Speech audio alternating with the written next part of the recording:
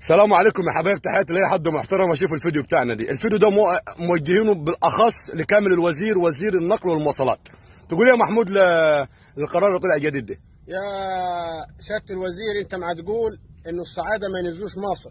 الصعايدة لما ما ينزلوا مصر ما ينزلوا على بتاعهم مش على بتاع حد. 90% من أملاك القاهرة بالكامل كلها ملك للصعايدة ولا هتحط يدك عليها وتمنعهم صح. عشان نفهموا يعني بس. هتقول إيه يا أبو عزام أنا مش هقول غير كلمتين. محدش يقدر يمنع الصعيد إنه تخش مصر ولا كامل وزير ولا أي حد يقدر يمنع الصعيد إنه تخش أي شبر في مصر. يا ريس. خلصانة. يا ريس قول حاصل كامل عبد الهادي. كامل عبد الهادي الوزيري اللي ما يعملوا ده أكبر غلط ودي فتن بين الناس. وعايزين تخلوها أحزاب. أقسم بجلالة الله إحنا. مستعدين نحارب دول. مش دول نهر النيل. آه والكهرباء. عشان سد العالي. عشان نبقوا خلصان. وراح إحنا بنحترم كل الناس وجه بحري على راسنا ولا من فوق. عاوزينها تبقى زي السودان. براحتكم.